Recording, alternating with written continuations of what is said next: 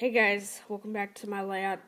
Um, I'm going to try to make this video not so shaky because I've seen subscribers subscribing to me, so that means I think I'm doing, they think I'm doing pretty good, and um, I'm going to try to improve my videos so I can um, show them my good work here. First off, I want to um, say that as you can see, nothing has really been changing on my layout. Um, I do have, but, but as of now, you do see a few pieces of rolling stock sitting there. Um, first off, I have this Frisco box car.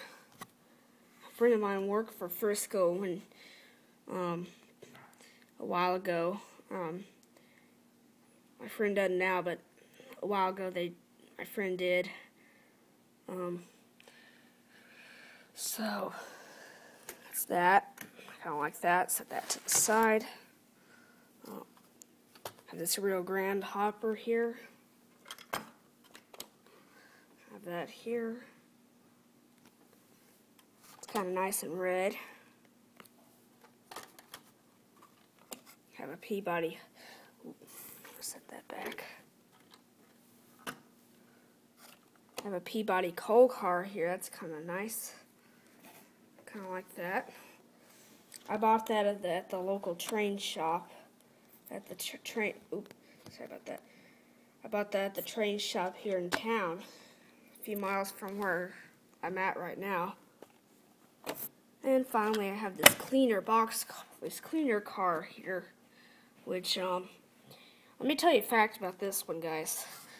Guys, you won't find this, really, but I was actually lucky to get that. I didn't know it, but the secret is it has this little thing on the bottom.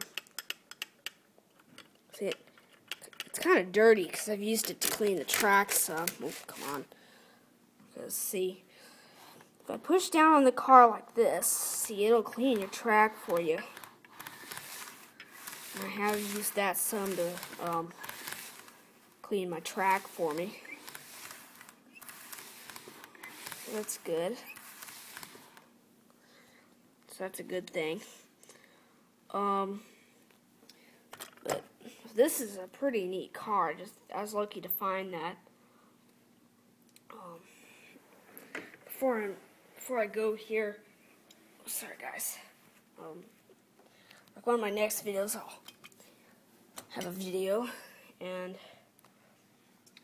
as you can see, it, it might be a little review on my Bachmann Spectrum K4 steam locomotive I have there.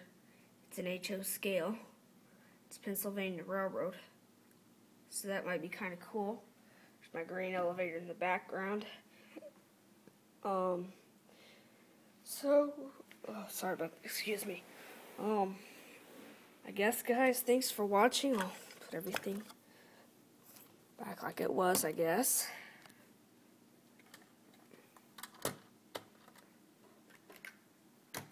Few of my friends, let me tell you something here. A few of my friends have subscribed to me, and so that's, so thank you to all my subscribers, whoever all subscribed to me, thank you. Um, I appreciate that. And um, thanks for watching, and um, check out more videos in the future.